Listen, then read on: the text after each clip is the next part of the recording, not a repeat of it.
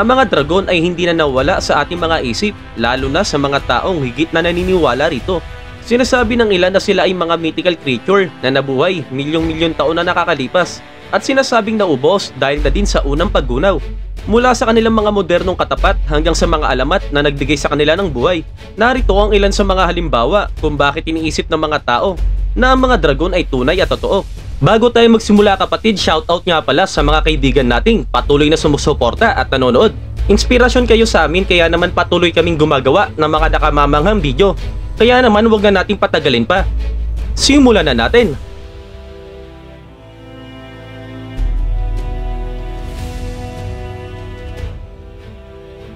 There may not be fossil of dragons. Pagdating sa mga sinaunang creatures sa ating kasaysayan, parehong mga dinosaur at higit pa.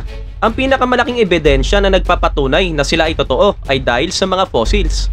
Sa pamamagitan ng mga fossil ay nakakakita tayo ng mga sulyap sa nakaraan at pagkatapos ay pag-aaralan natin to upang makita natin kung anong ibig sabihin ng mga ito. Gayunpaman sa kabila ng lahat ng mga fossil na ating natagpuan, wala pa kaming nahanap ng mga dragon o kaya dinosaur na nagbubuga ng apoy. Gayunpaman hindi ito nangangahulugan na hindi sila umiiral at ang ibig sabihin nito ay hindi sila nag-iwan ng kahit anong fossil. Ang proseso na kilala bilang fossilization ay napakasalimuot at nagaganap ito sa paglipas ng maraming mga taon. Subalit, ang mas nakakagulat ay napakababa lamang ng mga bilang ng hayop ang gumagawa ng fossil. Ngayon ito ay maaaring mukhang kakaiba dahil sa lahat ng mga fossil ng mga halaman, hayop at syempre mga dinosaur na natagpuan namin sa paglipas ng mga taon. Gayon pa kung iniisip mo kung ilang milyon taon na umiiral ang mundo at lahat ng mga halaman at hayop na nabuhay dito.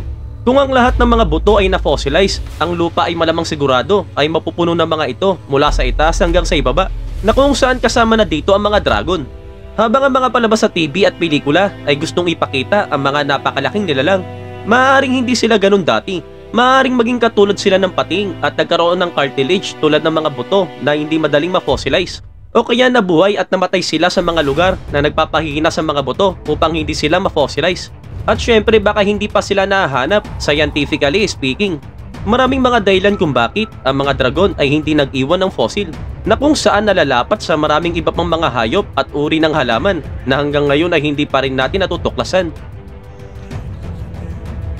Descendants of dragons in real life Madalas kapag sinusubukang imapa ang nakaraan, tumitingin tayo sa kasalukuyan at tinitignan natin kung anong uri ng mga hayop ang umiiral na maaaring magpaliwanag sa mga sinaunang nilalang o mythological creatures. Hindi katulad ng kung paano natin tinitignan ang ilang mga butiki o reptile pabalik sa mga araw ng dinosaur. Para sa mga dragon, mayroon mga ilang creatures na madaling mukhang tunay alinsunod sa kalikasan kahit wala silang katangian na sinasabi sa alamat. Ang pinakahalata ay ang creatures na tinatawag na Komodo Dragon. Ang isang ito ay inihalin tulad sa mga dragon dahil sa napakalaki nilang sukat. Ang Komodo ay ang pinakamalaking species ng mga butiki sa mundo ngayon at maaari silang humaba ng 10 talampakan at tumimbang ng halos 366 pounds. Bagaman ito ay itinuturing na bihira, ang Komodo Dragon ay ang kinukonsiderang pinakamalaki at umiiral. Kung tatanungin mo naman kung bakit sila lumalaki ng ganito, ang mga Komodo Dragon ay nabubuhay lamang sa limang isla sa Indonesia at pinaniniwalaan ng mga specialized ecosystem na ito ay isang kaso ng giantism na kung saan ang ibig sabihin dito ay lumalaki ito ng higit pa sa normal at hindi katulad ng mga dragon. Ang mga Komodo Dragons ay apex predators sa kanilang teritoryo dahil na din sa kanilang napakalaking sukat. At habang hindi sila nagbubuga ng apoy, nagtataglay naman ito ng napakatinding lason na kung saan kaya nitong magtumba ng hayop sa isang kagat lang. Ang paglapit sa bibig ng Komodo Dragon ay isang hindi magandang ideya. Ang isa pang malaking paliwanag kung bakit ang mga tao ay palaging naniniwala na ang mga dragon ay umiiral ay dahil na din sa mga buto ng dinosaur. Imagine a few thousand years ago, naglalakbay ka at nakatagpo ka ng isang higanting bungo o isang napakalaking buto. Malinaw at siguradong may isip mo na kabilang ito sa nakakatakot ng mga creatures na maaaring kumuha sa'yo. Kung makita mo ang mga buto, dapat itong maging tunay tama. Ang mga dragon ay madalas na tinatawag na flying dragons na kung saan marami sa mundo ngayon. Kabilang na dito ang isang species na tinatawag na flying dragon. Kaya naman kung pagsasamahin mo ang flying dragon na may malaking pakpak at katawan ng dinosaur o sabihin na lang natin na komodo, maaari kang magkaroon ng dragon ayon sa teorya. Where did the idea of dragons come from? Lahat ng bagay sa mundo ay talaga may pinagmulan. Maaaring malaki o maaaring ito ay maliit. Subalit, ito ay may lugar ng kapanganakan. Kabilang na dito ang mga ideya at kwento patungkol sa mga mythical creatures. Gayunpaman pagdating sa mga dragons, walang nakakaalam kung saan sila eksakto nang galing. Ang ilan sa mga pinakaunang piraso ng dokumento na nagtatampok ng mga dragon ay nagmula sa mga Greeks. Ang mga Sumerian at maging ang unang bahagi ng Mesopotamia, sila ay tinukoy bilang parang ahas na nilalang na sinasaktan ng mga Diyos minsan. Ang mga sinaunang Chinese kingdom ay mayroon ding sariling kwento tungkol sa mga dragons. At ayon sa kanila, sila ang pinagmumula ng ulan. Kaya naman mahalagang bahagi sila ng kanilang kultura hanggang ngayon. Ang ilan dito ay sinasabi din na sinasakyan sila na parang kabayo kaya ganito sila kahalaga sa mythology. Nang pumasok ang Middle Ages at ang pag-usbong ng Kristyanismo, ang paggamit ng salitang dragon ay mas lalong umingay at kalaunan ay dumating sa kanluran ng matuklasan ng bagong mundo at hindi na sila umalis metaphorically speaking. Bagaman sa lahat ng ito, wala talaga nakakatiyak o nakakaalam kung saan ito nakatira o saan sila ay pinanganak. Sila ba ay isang likang isip o ginawang inspirasyon lamang ang kanilang itsura Siguro ang pinakamalaking ebidensya para sa patunay ng buhay ay hindi natin alam kung saan nanggaling ang ideya ng mga dragon. Born from Fear Ang isang popular na paniniwala kung bakit ang dragon na hindi umiiral ay may kinalaman sa kaisipan ng mga tao, kasama na dito ang mga hayop. Kung titingnan mo kung ano ang mga dragon, ito ay halos isang kimera mula sa mythology sa ilang mga paraan na may itsurang butiki subalit lumilipad Meron itong matalas na ngipin at kuko at anumang oras ay kaya na itong magbuga ng apoy at makipag-usap sa mga tao. Ito ang paniniwala ng marami. Kabilang na dito ang isang anthropologist na si David E. Jones na sumulat ng aklat na may pamagat na Instinct for Dragons. Ang paniwala ay nakakaintriga at ang sangkatauhan ay kilala na lumika ng sarili nitong mga halimaw. At bilang karagdagan, habang ang mga lumilipad na creatures at reptile ay tinakot ang ilang mga tao noon, marami pa rin ang hindi naniniwala rito No two dragons are the same. Kung ikaw ay naatasan gumuhit ng larawan ng isang dragon, malamang guguhit na ng isang napakalaking nilalang na parang butiki na may kaliskis na kasintigas ng diamante, na may isang ulo na malaki at nakakatakot, na may mga pakpak na napakalaki at siguradong bumubuga ng apoy. Gayunpaman ang ilan sa mga pinakaunang larawan ng mga dragon ay naiiba depende sa kultura at mga taong naglalarawan sa kanila. Halimbawa sa Eastern culture, sila ay mas tinutukoy bilang mga ahas na may apat na paa at hindi makalilipad. Sa European nation naman sila ay nakakalipad at nakakahinga rin ng apoy. Bagaman hindi lahat ng kultura ay may detalyeng inilagay sa Diyos. Sa Greek mythology, maraming mga creatures na maaaring huminga ng apoy tulad ng kimera. Ang isa pang bagay na naiiba ay ang kanilang sukat. Sa ilang kultura sila ay maliit, subalit makapangyarihan. Ang iba naman ay sinasabi na umaabot ng ilang milya ang haba nila. Sa ilang mga sinaunang kwento, may mga nagsabi din na ang mga dragon na ito ay kayang makipag-usap sa mga tao at sila din ay napakatalino. Ang ilan ay naninirahan sa langit, ang iba sa lupa o sa kuweba at maging sa ilalim ng tubig. Halos lahat ng paglalarawan ay naiiba at kadalasan ay tumutukoy bilang isang kagamitan sa pagkukwento na inayon sa bawat kultura. Subalit, may iba pang posibleng sagot. At ang isa dito ay laganap sa ating mundo. Sa paniniwala sa iba't ibang uri ng hayop Paano kung hindi umiiral ang mga dragon? Subalit, sila ay naiba batay sa kanilang lokasyon. Hindi tulad ng ibon, pusa, aso sa modernong araw. Mapapaliwanag ito kung bakit napakaraming mga uri ng mga dragon sa buong mundo na may pagkakaiba-iba na kung ano sila at ano sila dati.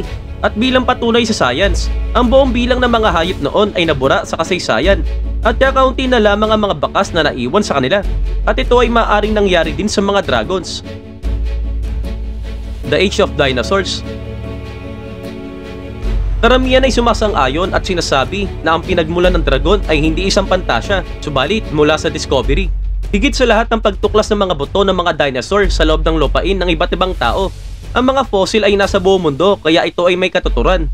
At dahil malamang na hindi nila malalaman ang tungkol sa mga dinosaur sa malaking kahulugan, ang kanilang isip ay bumabalangkas kung ano ang maaaring maging itsura ng dragon.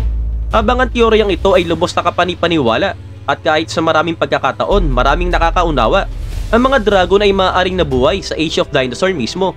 Ang mga ebidensya para sa mga teoryang ito ay nasa mga dinosaur mismo. Alam natin na maraming dinosaur ang likas na may kaliskis, kabilang na dito ang malaalamat na T-Rex. Alam din natin na ang mga nilalang sa panahon na yon ay may mga pakpak at talagang lumilipad, kabilang na dito ang pterosaurs. Ang buhay ng dinosaur ay tumagal ng ilang milyon taon at umaabot ito ng 200 batay sa pagtatansya. Kaya ang evolution ay maaaring makalika ng mga dragons.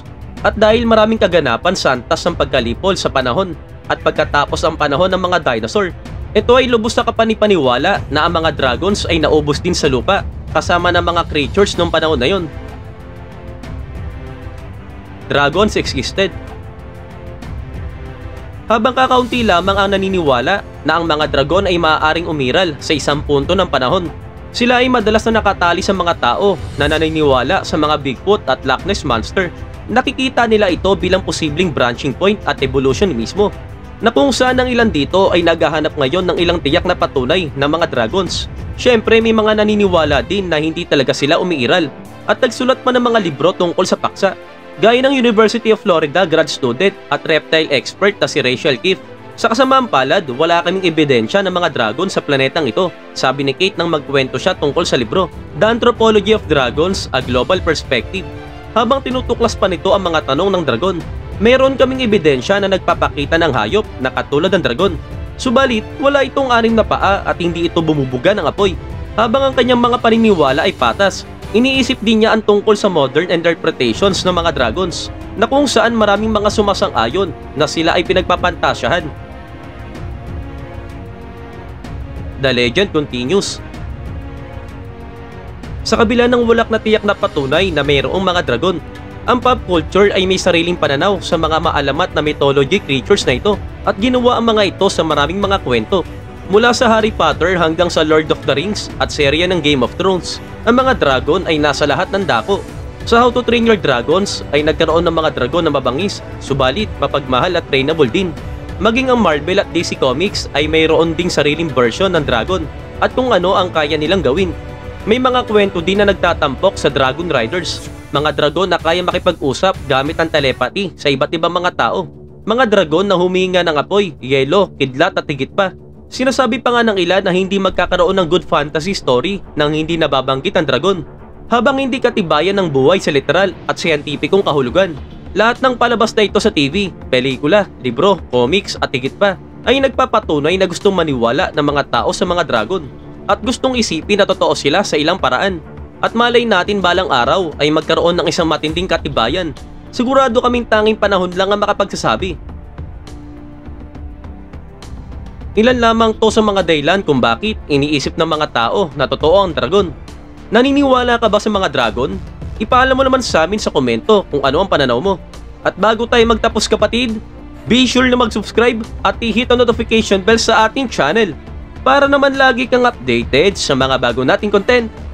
Muli, maraming salamat sa panonood. This is Noel Polo TV. Kita-kits sa next video.